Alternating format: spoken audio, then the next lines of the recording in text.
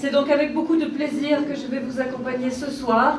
Nous nous trouvons ici même dans le seul et unique lieu qui est commun à l'ancien et le nouveau. Quoi de mieux que de faire cette jonction entre l'ancien bâtiment et les nouvelles urgences? Nous sommes ici dans le garage, mais rassurez-vous, s'il fallait encore rassurer le milieu médical et les médecins qui sont parmi nous, s'il devait vous arriver quelque chose de fâcheux ce soir, les urgences sont toujours bel et bien de service puisque rien n'arrête jamais les urgences des cliniques universitaires Saint-Luc.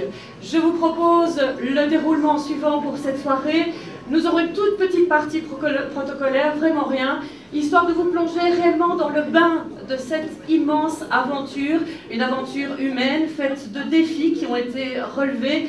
Ensuite, vous aurez l'occasion, bien sûr, de découvrir concrètement quels ont été ces défis et le résultat qui, croyez-moi, si vous ne l'avez pas encore vu, est absolument euh, fabuleux.